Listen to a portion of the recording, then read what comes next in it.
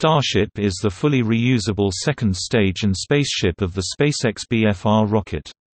It is a long-duration cargo and passenger-carrying spacecraft that also serves as the BFR launch vehicle second stage and integrated payload section. Three 9 meters (30 feet) diameter stainless steel Starship test articles are being built, and one had already begun integrated system testing by March 2019.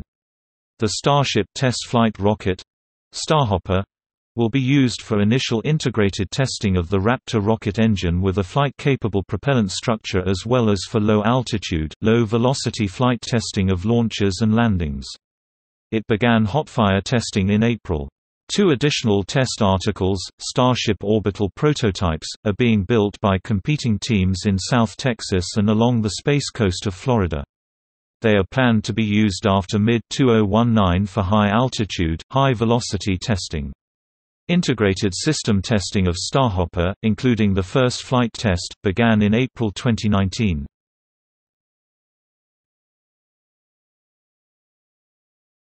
Topic description Starship is a 9 meters 30 feet diameter, 55 meters 180 feet tall, fully reusable rocket design with a dry mass of 85,000 kilograms, 187,393 pounds, powered by 7 methane oxygen propellant Raptor engines producing over 2000 kilonewtons, 450,000 lbf of thrust in each engine.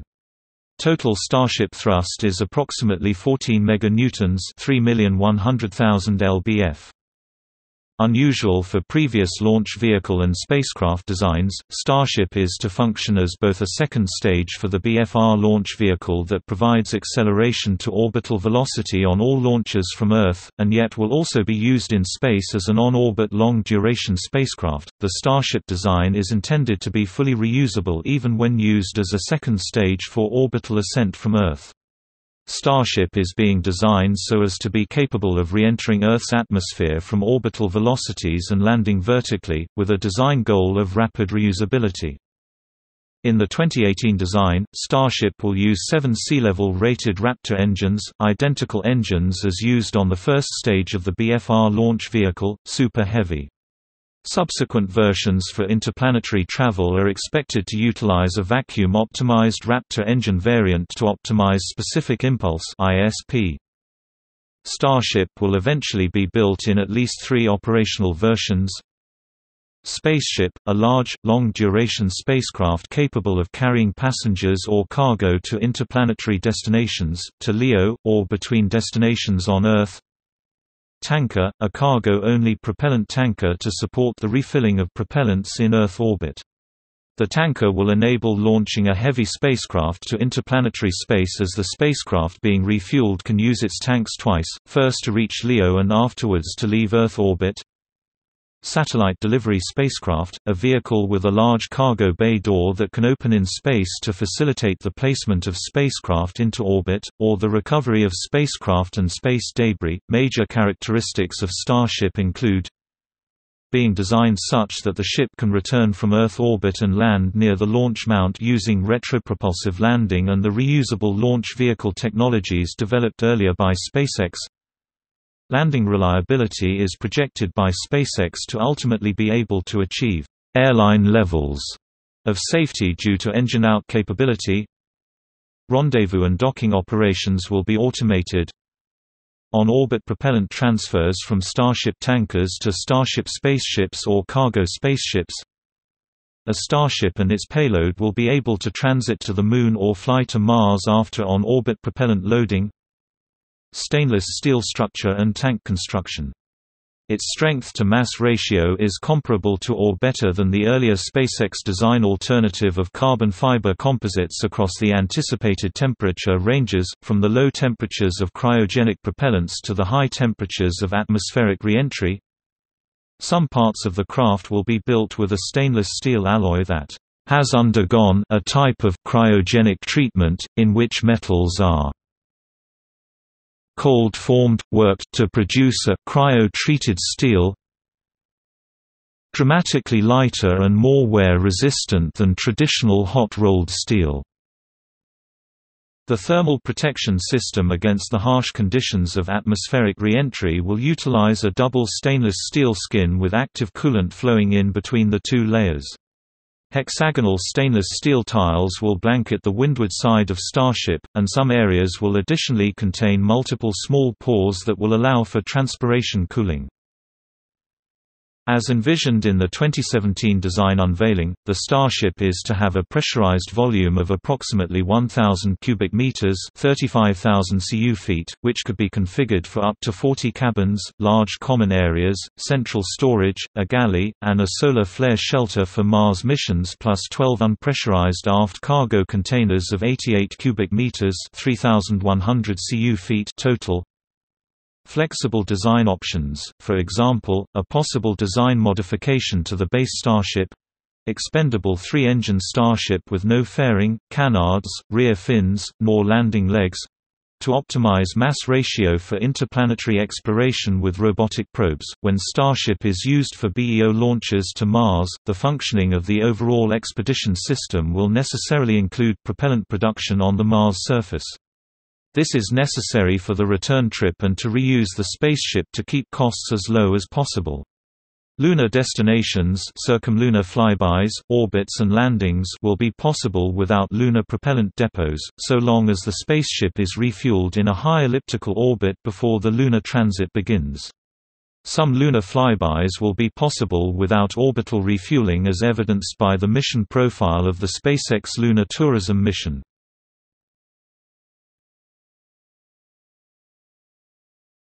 Topic: Prototypes. Two test articles were being built by March 2019, and three by May. The low-altitude, low-velocity Starship test flight rocket was used for initial integrated testing of the Raptor rocket engine with a flight-capable propellant structure, and will test the newly designed autogenous pressurization system that is replacing traditional helium tank pressurization as well as initial launch and landing algorithms for the much larger 9-meter diameter rocket. SpaceX originally developed their reusable booster technology for the 3-meter diameter Falcon 9 from 2012 to 2018. It will also be the platform for the first flight tests of the full-flow staged combustion methalox Raptor engines, where the Hopper vehicle is expected to be flight tested with up to three engines to facilitate engine-out tolerance testing. The high-altitude, high-velocity Starship orbital prototypes will be used to develop and flight test novel thermal protection systems and hypersonic reentry control surfaces.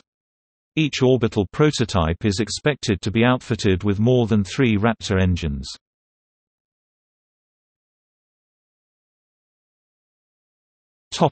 Starship test flight rocket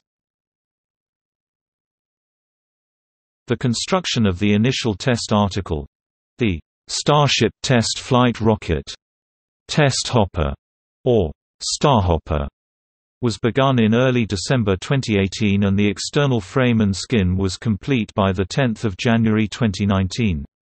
Constructed outside in the open on a SpaceX property just two miles from Boca Chica Beach in South Texas, the external body of the rocket rapidly came together in less than six weeks. Originally thought by watchers of construction at the SpaceX South Texas launch site to be the initial construction of a large water tower, the stainless steel vehicle was built by welders and construction workers in more of a shipyard form of construction than traditional aerospace manufacturing. The full Starhopper vehicle is 9 meters 30 feet in diameter and was originally 39 meters 128 feet tall in January 2019. Subsequent wind damage to the nose cone of the vehicle resulted in a SpaceX decision to scrap it, and fly the low-velocity Hopper tests with no nose cone, resulting in a much shorter test vehicle. From mid-January to early March, a major focus of the manufacture of the test article was to complete the pressure vessel construction for the liquid methane and liquid oxygen tanks, including plumbing up the system, and moving the lower tank section of the vehicle two miles to the launch pad on 8 March. The test article will be used to flight test a number of subsystems of the Starship and will be used to expand the flight envelope as the Starship design will be finalized. Initial tests began in March 2019, flight tests are expected for April. All test flights of the test hopper will be low altitude, under 5 km 16,000 feet. On 3 April 2019, SpaceX conducted a successful static fire test in Texas of its Starhopper vehicle, which ignited the engine while the vehicle remained tethered to the ground. See testing section, below, for full testing history and details.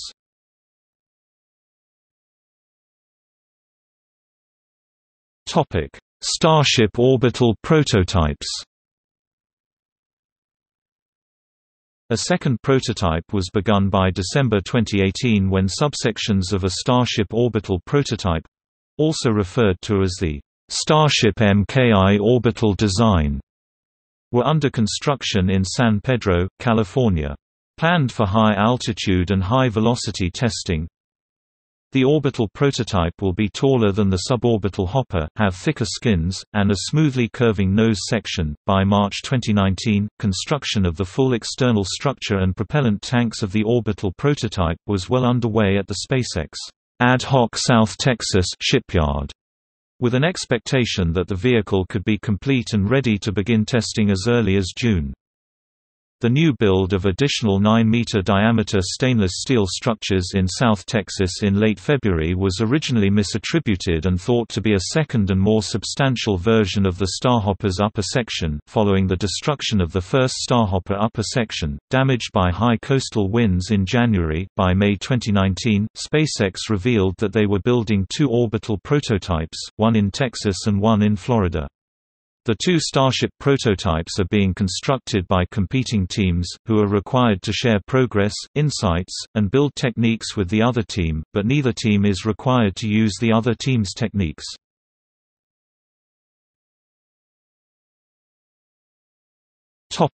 Testing Integrated system testing of the first Starship prototype Starhopper with the newly built Ground Support Equipment (GSE) at the SpaceX South Texas facilities began in March 2019. These tests involved fueling Starhopper with LOX and liquid methane and testing the pressurization systems, observed via icing of propellant lines leading to the vehicle and the venting of cryogenic boil-off at the launch, test site. During a period of over a week, Starhopper underwent almost daily tanking tests, WDRs and a few pre-burner tests.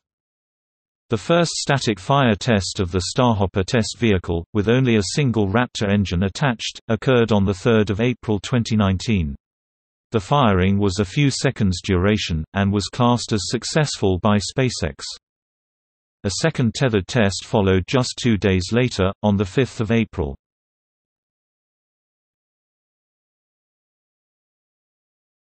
Topic: Intended uses. Starship is intended to become the mainline SpaceX orbital vehicle, as SpaceX has announced it intends to fully replace its existing Falcon 9 launch vehicle and Dragon space capsule fleet with Starship Super Heavy during the early 2020s. Starship will be utilized for legacy Earth orbit satellite delivery market in addition to the standard external launch market that SpaceX has been servicing since 2013, the company intends to use Super Heavy, Starship to most cost-effectively launch the largest portion of its own satellite Internet constellation, Starlink, with more than 12,000 satellites intended to be launched by 2026, more than six times the total number of active satellites on orbit in 2018. Long-duration spaceflights in the Cislunar region, Mars transportation, both as cargo ships as well as passenger-carrying transport Long-duration flights to the outer planets, for cargo and astronauts In addition, SpaceX has mentioned the theoretical ability of using a boosted Starship to carry passengers on suborbital flights between two points on Earth in under one hour, providing commercial long-haul transport on Earth, competing with long-range aircraft. However, SpaceX has announced no concrete plans to pursue this use case.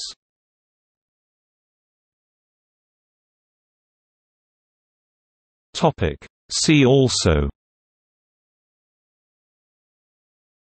It's an earlier SpaceX concept for a much larger but similar spaceship.